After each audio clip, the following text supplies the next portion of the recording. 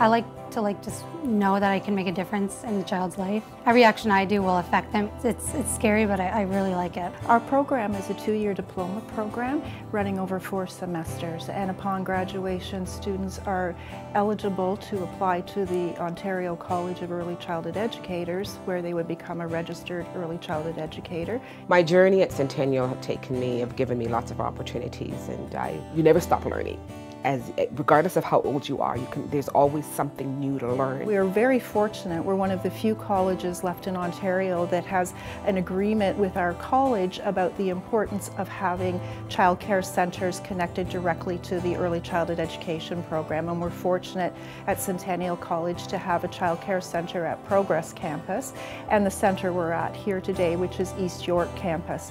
And both of these child care centres not only provide child care for the community, but they also are learning lab schools for our students. It's an amazing placement because I just, I've learned so much. They don't really like say you're, you're not doing it right, but they, they tell me like how I can improve.